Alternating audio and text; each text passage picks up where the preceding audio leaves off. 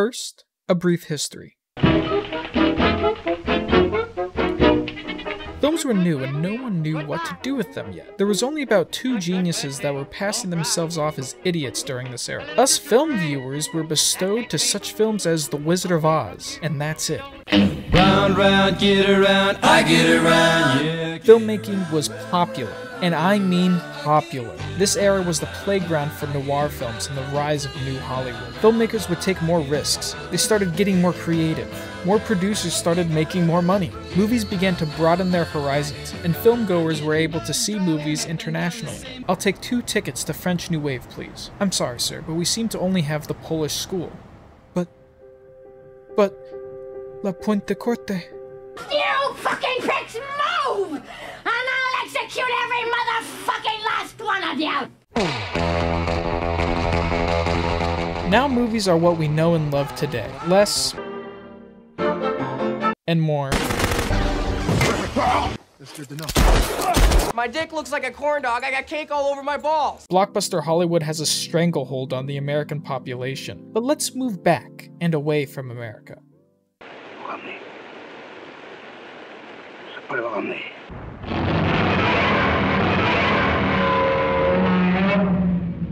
The Japanese Golden Age was revolutionary not just for Japanese cinema, but for cinema around the world. This Golden Age took place in the 50s and 60s and was one of the main inspirations for art house cinema. Filmmakers were inclined to make what they wanted and how they wanted it.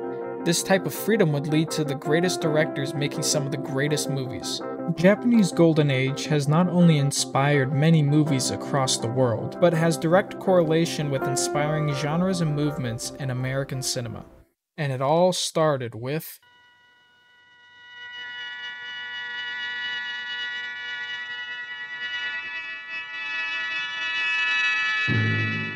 The Japanese Golden Age didn't begin with Rashomon, but it was certainly a movie to be noteworthy. Made by acclaimed director Akira Kurosawa, Rashomon is a somber story. It's a lot to take in, and although the film has been talked about for years, there isn't a definitive answer. This is why it's had such an influence on art house as a whole. Many films in that category aren't meant for a particular audience, and Rashomon is the same. Rashomon is beautifully directed. It has long shots where not much happens, deep dialogues where the fighting isn't with fists or swords, but with words. Although the movie has a samurai in it, the movie isn't about samurais. It's about trust. Do the characters know who's telling the truth? Does the audience know who's telling the truth? If a character is more liked, are they more likely to be believed? If a character is disliked, are they more likely to be distrusted? Rashomon asks these questions and only answers a few of them. This movie would inspire many filmmakers in non-linear storytelling. Kurosawa has made many different types of films, but general audiences know him for his samurai films. Not only are these some of the best samurai movies ever made, they're some of the best movies ever made. His most popular of these samurai films being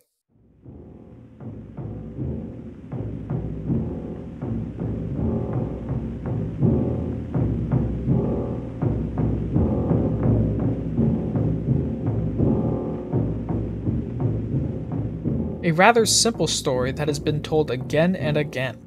A small village is having trouble with bandits, so the village people hire a man to protect them. In this case, Seven. This form of storytelling has been adapted in American westerns, in which a few elements were changed.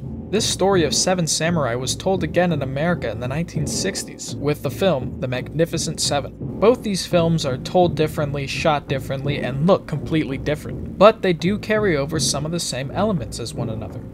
The Seven Samurai is more of man versus man, whereas in a Western counterpart might fall under man versus nature. Kurosawa wanted to make his movies universal. He wanted to make films that weren't just about Japan, but about people and what molds them. In the same vein, but in a completely different way. If Kurosawa explored the existentialism of life through extraordinary people, then Yasujiro Ozu explored the depths in the ordinary. Ozu would craft films about people living their lives, not fighting for them. Stakes in his films were often emotional and low, but that never stopped him from making films without tension or purpose. He was the perfect blend of fantastical storytelling in the real world, and there's no better example of this than in Tokyo Story. Tokyo Story is about family, and although it's from the point of view of a particular family, it's just a placeholder for family in general. Everyone has that feeling of their family getting in the way, or that they're getting in the way of their family. The film is perfect in being interpreted all around the world by people who are facing these universal themes.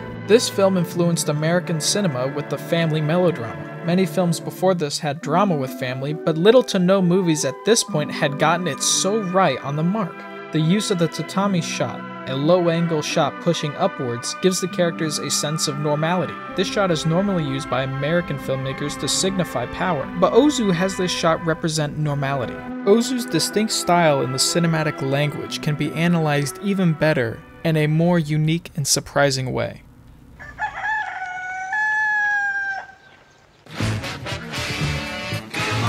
Oh shit, that's the wrong song. Okay, just fucking. Okay, and put this in there, and here we go.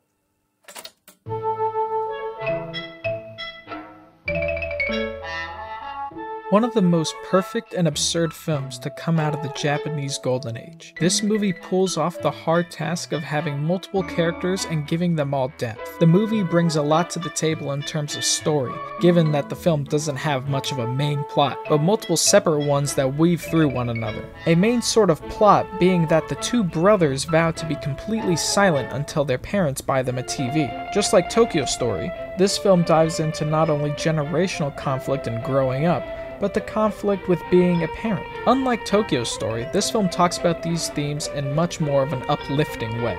Many general audiences may know this as the fart movie, due to its abundance of fart jokes.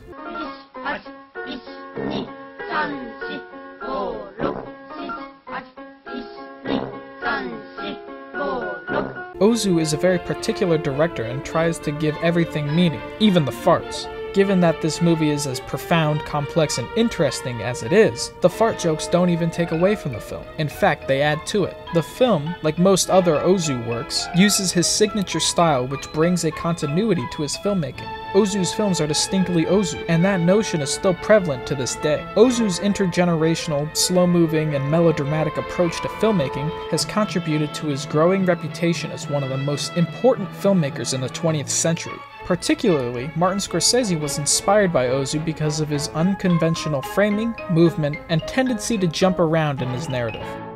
Both Akira Kurosawa and Yasujiro Ozu are fantastic directors and pillars on what directors should be. They break the mold on filmmaking. They try new techniques to see what works and what doesn't work. They are the filmmakers who pioneered a golden age for Japanese cinema. Kurosawa's existential look on the world and its people gave American cinema heroes and villains that were hard to easily identify as such. Ozu gave American audiences looks into different cultures with the same problems that they face day to day. These two directors help bridge the gap between both Japanese and American cinema.